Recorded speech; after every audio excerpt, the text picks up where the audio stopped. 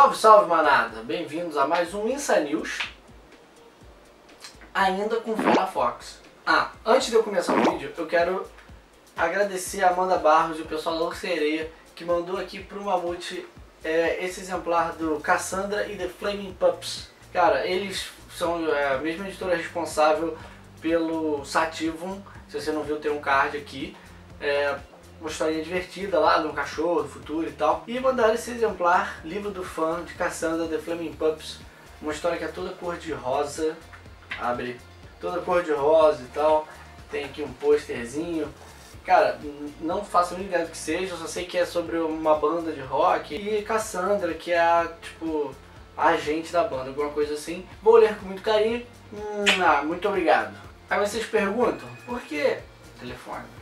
Telefone na hora da gravação. Aí vocês perguntam, Ué, mas por que ainda com fé na Fox tal? Tenho duas notícias que podem te animar ou talvez te desesperar, não sei. Bom, a primeira delas é a seguinte, durante a Toy Fair em Nova York agora recentemente, vazou, foi divulgado, não sei se eles divulgaram, se deram lá e tal, e alguém tirou foto botando na internet. A questão é, está na internet essa imagem aí, como você pode estar observando, eu, a gente tem aí a, como se fosse um primeiro pôster, alguma coisa de Wolverine 3. Sim, o Wolverine, o mesmo Wolverine que fez aquela porcaria do Imortal e o Wolverine Origins, o nosso querido Hugh Jackman, estará se aposentando do personagem com esse terceiro filme. Bom, já rolou boatos que pode ser, e eu espero muito que seja, na verdade eu gostaria bastante que fosse, sobre o velho Logan, né, esse terceiro filme,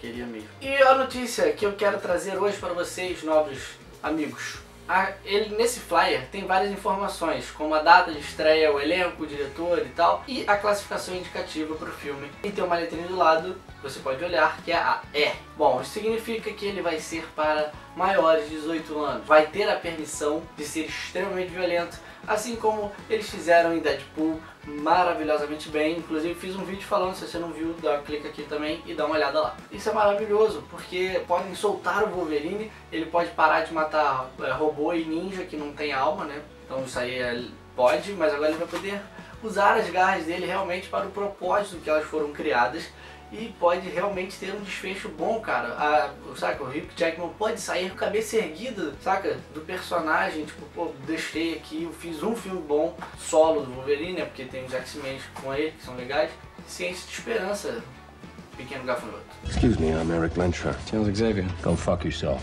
Próximo. Aí, aí é que complica, Fox, vocês com certeza vão ver esse vídeo, quem dera, né? foi divulgado na página oficial do Predador, Predador mesmo, aquele alienígena, bocão e tal, que teremos um novo filme chamado The Predator, The Predator. Tem aí esse pôster com a legenda Lá vamos nós de novo, irmão, e no pôster tem escrito Você nunca é, o verá chegando, uma coisa indicando aí a sequência do filme e tal. Cara, tem filmes que eu acho que deixa, já, já parou, já acabou, vamos tentar criar uma parada nova, mesmo tendo vários filmes aí, é, reboots ou é, refilmagens e continuações, enfim, é, os spin-offs como tipo Creed, saca? Creed foi sensacional, meu irmão. E que spin-off foi Creed? Mas enfim, pode chamar de spin-off? Não é, né? Porque é um adendo, né? Um apêndice ali do, do do rock, né? Predador, na minha humilde opinião, esse foi só o primeiro, meu irmão. É um filme que tem várias cenas icônicas, tem frases, aquelas frases marcantes e tal, uh, personagens cativantes, tem o carisma do nosso querido Arnold Schwarzenegger, tem o Apollo Creed, cara, eles encontrando, fazendo aquela You son of a bitch. You son of a bitch. É um filme maravilhoso, eu adoro filmes da década de 80, 70, adoro filmes antigos, cinema no todo. Tem filmes que eu acho que não devem ser tocados, como por exemplo Alien vs Predador, cara, se você gostou, tipo, desculpa, eu odiei, achei uma bosta. Deixa só com o Schwarzenegger todo islam, islamiçado, eslamaçado, sei lá, islamiado, lembra? Gritando, get to the chopper. Get to the chopper! Saca? Deixa, deixa lá no passado pra, pra gente, saca? Não mexe. A Fox, de novo, está produzindo filmes bons, a gente está vendo aí. E pode ser que eu me surpreenda e todo mundo se surpreenda e tenha um filme maravilhoso do Predador, que é um personagem também muito legal. Mas eu tô receoso sobre esse filme. E vocês? Eu, eu sempre no, no, no News, assim, eu tô, a maioria eu trago uh, sendo alguma coisa do cinema, enfim. E eu tô falando, acho que tô falando um pouco de quadrinhos no Inside News, então eu trouxe uma recomendação de um quadrinho que está em pré-venda. Eu acho que já está em pré-venda na nossa loja parceira, Liga aqui. Eu vou deixar o, o, os links aqui embaixo para você procurar. Um encadernado chamado O Capuz, O Sangue Vem das Pernas. Por que, que eu tô te indicando isso, cara? Porque é de um personagem muito bacana, eu gosto bastante.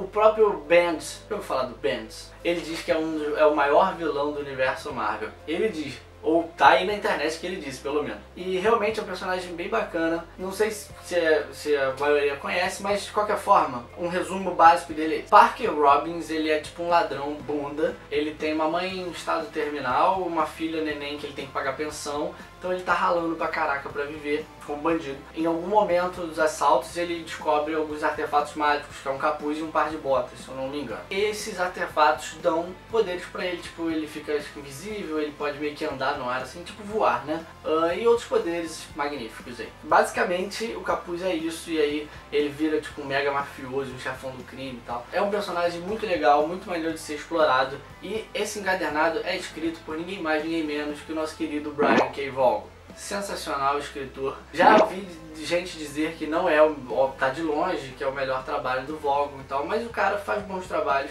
E também vão ter os desenhos do Kyle Rotz, Hotz, Hotz, alguma coisa assim. Eu recomendo você a pegar, porque se você não conhece o personagem, tá aí uma boa oportunidade para você conhecer, entendeu? Acho que ele sai a preço de capa 25 e pouco, então fica ligado lá no Facebook do Mamute, que eu sempre posto uh, as promoções e tal. Vai na nossa li, li vai na nossa loja parceira, Liga aqui e já reserva o teu, cara. Vale a pena você ter um descontinho bacana, capa dura que vai ser. Então tá aí minha recomendação para vocês passarem o resto da semana felizes aí. Então é isso. Eu quero agradecer que vocês tenham ficado até aqui. Continua acompanhando a gente, se inscreve no canal se você ainda não é inscrito. Deixa aquele like batuta maneiro pra gente. Compartilha o vídeo, cara, que ajuda pra cacete. E é só isso.